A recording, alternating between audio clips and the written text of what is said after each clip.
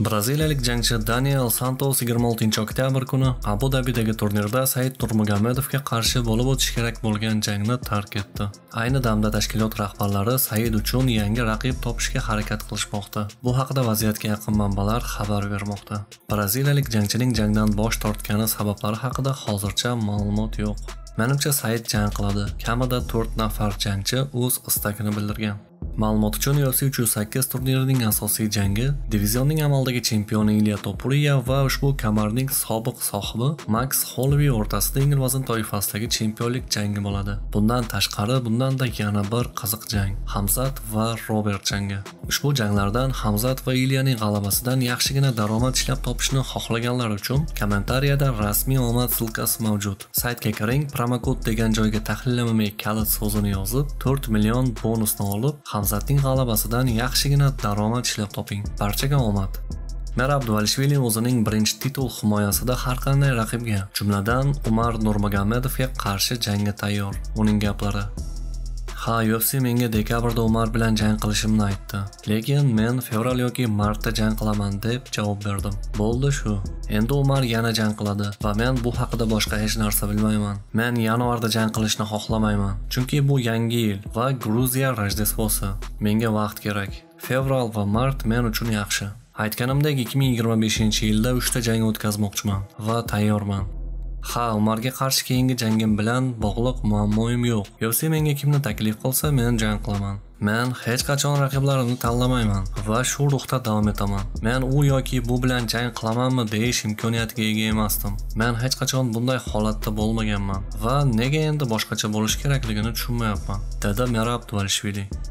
Shaxsiy fikrim Merab qanday ikkiyuzlamachi? U noyabr oyida Shonga qarshi jang qilmoqchi edi. O'Meli esa revansh qidirmoqda.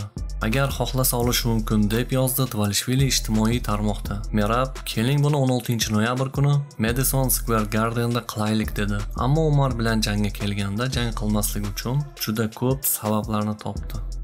Avvalroq Umar Nurmagomedov 14-dekabr kuni Xitoylik Son Yadonga qarshi vaqtinchalik jang o'tkazishga rozi bo'lgani haqida xabarlar tarqalgan edi. Biroq UFC vakillari bu ma'lumotni hali rasman tasdiqlashmagan.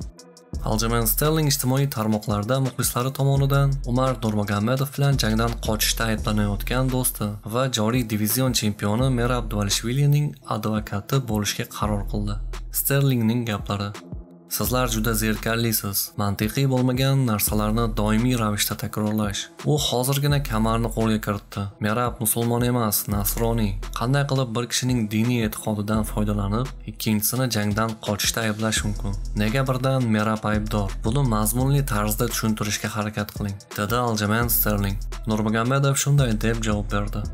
U noyabrda Shon O'Melli bilan jang qilishga tayyor edi, lekin men emas. Shuning uchun Merabning soxta do'sti, dedi Umar. Sterling javob berdi. Bu butunlay boshqacha kurash uslubi. Ideal vaziyatda u boshqa chempionlar kabi tiklanish va tayyorgarlik ko'rish uchun ko'proq vaqtni afzal ko'rardi. Bir kun kelib sizlar jang qilasizlar. Umarning javobi: zaif bahona. Sterling shunday deb mavzuni yopdi. Men aytganlarimning hammasi rost. Agar sen chempion bo'lganingda hech qachon bunchalik tez va raqibing xohlagan vaqtda qaytib kelmas eding. Sen bu yolg'on ayblovlardan foydalana olmaysan. Merab eng yaxshi yigitlar va sobiq chempionlarni mag'lub etib, raqobatlashdi. Demak, u barcha kabi bunga loyiq, dedi Aljamain Sterling. Sizningcha ushbu holatda kim haq? Omelli bilan noyabrda jangni xohlab, Umar bilan esa martda jang qilishni xohlayotgan Merabmi yoki Umar Nurmagomedovmi? Fikrlaringizni kommentariyaga yozib qo'ying. Sizlar bilan har kunlik tezkor sport yangiliklari bilan tahlil MMA kanalida. Ertangi rolikda ko'rishguncha barchangizga xayr.